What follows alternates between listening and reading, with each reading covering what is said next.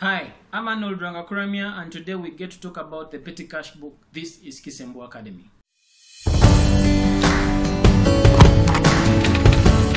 During the course of operation of most businesses, there are some small costs that are supposed to be met on a daily basis.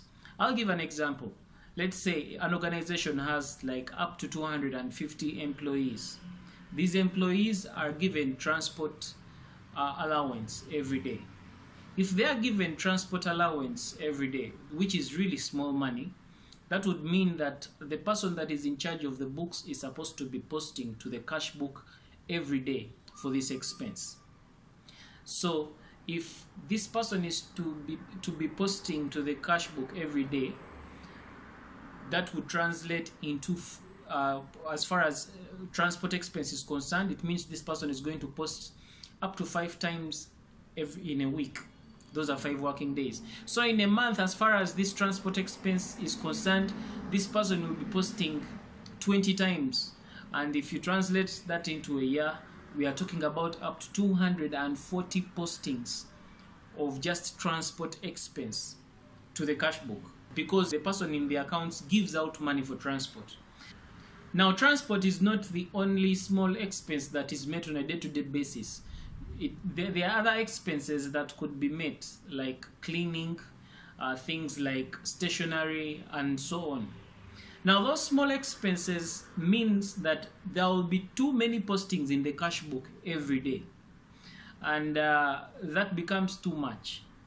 It is it becomes too much work for the accountant to post those small things every day into the cash book to relieve the main accountant or call them the cashier of these small small obligations what most organizations do is that they appoint somebody called a petty cashier. Just like the word you hear it's petty petty cash.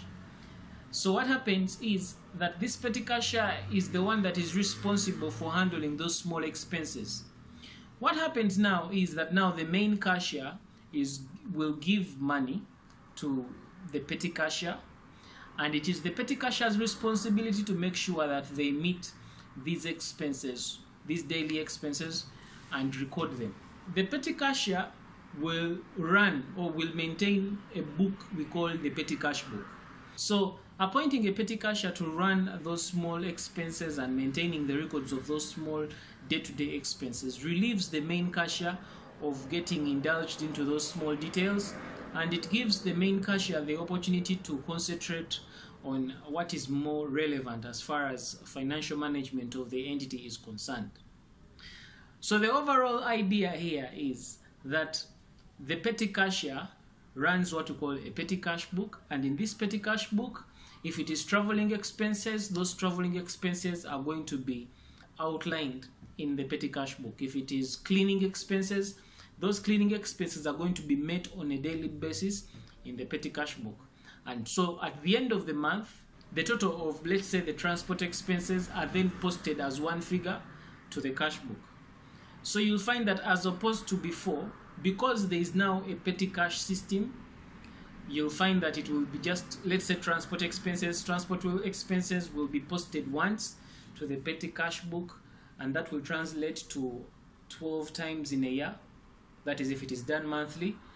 Uh, and that is a much better outlook as compared to posting it up to 240 times a year if, if you're not using a petty cash book. So this takes us to the next question. Where does the petty cashier get the money? Now the money is gotten under a system we call the imprest system. Here is how it works. Let's say we have hired a petty cashier to manage the day-to-day small expenses of the business. So we shall say um, our petty cashier is going to be operating every month. So what we do is that we disburse money to this petty cashier every month. When we disburse money to this petty cashier every month, this petty cashier is supposed to issue that money out depending on the expenses that need to be met. And at the end of the period, this petty cashier is supposed to account for that money. If our company policy is that it is supposed to be 1 million shillings to be spent every month. It means the petty cashier is supposed to work within that 1 million. If at the end of the month the petty cashier has spent 800,000, so he's supposed to account for the 800,000 and the main cashier will disburse 800,000 so that it becomes it gets back to 1 million so that the petty cashier is now able to start the new month with 1 million. So the imprest system works on the idea that it is going to be a constant figure that is always given to the petty cashier and whenever the petty cashier uses the part of that money the next period the main cashier is supposed to reimburse that money so that it gets back to the original amount now the amount of money that a petty cashier is is required to use for the expenses depends on the company. And even the period there are some companies that determine that the petty cashier will be reimbursed every after a week. In some companies they say it's every after two weeks. In some entities they say after a month. So it all depends.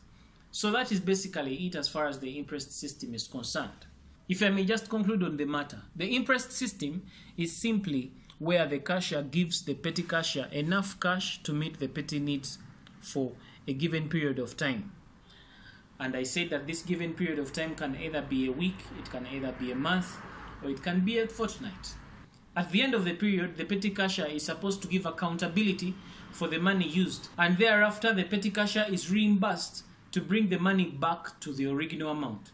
The original amount is what we call the imprest amount.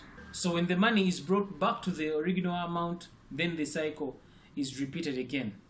Let me give an illustration. Let's say I am the petty cashier and I am supposed to be operating within a period of a month. So what happens is that my boss, who so happens to be the cashier, gives me 1 million shillings. So 1 million shilling becomes the imprest amount or the cash float. So I am supposed to use that 1 million shilling throughout the month.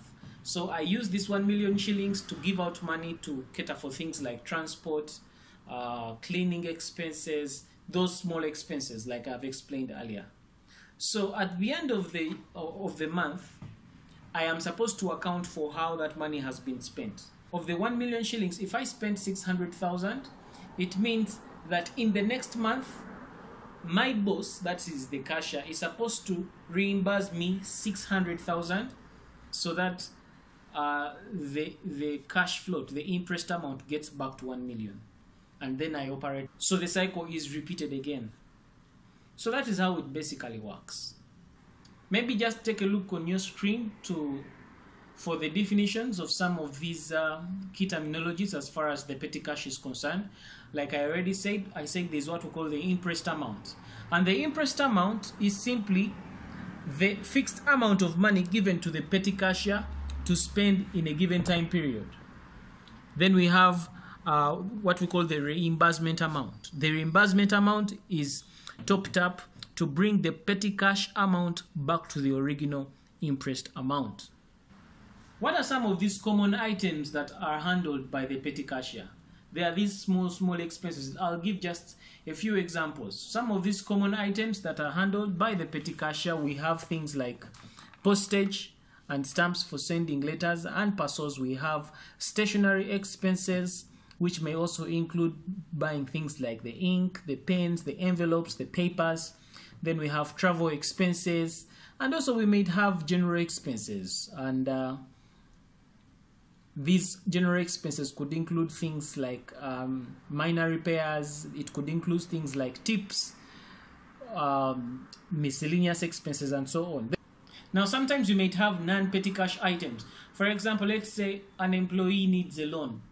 Sometimes you might find that petty cash is used to to, to, to give an employee a loan. Now, giving an employee a loan is just an example, but there could be other items that are not petty cash in nature, but petty cash is used to pay them. Now, such items are what we call sundries, and we also account for them in the petty cash. We'll be able to see that in our next session. So, to go over some of the advantages of the petty cash, uh, first of all, uh, it relieves the main cash book of numerous entries of large volume of transactions involving small expenditures of money. Uh, it enables the cashier to concentrate on major transactions while the minor or the small cash transactions are handled by the petty cashier. Then it also reduces unnecessary movement to the bank to withdraw money whenever there any payment is supposed to be made. It reduces temptation of fraud and stealing of cash in the business. And also operating a petty cash kind of promotes division of labor and with this comes better money management. So in our upcoming session we shall demonstrate how we make postings to the petty cash. My name is Arnold Rangakuramia and this is Kisembo Academy. Like this video if you like it, be sure to subscribe if you've not yet subscribed. Check out other awesome accounting lectures on the channel. Take care.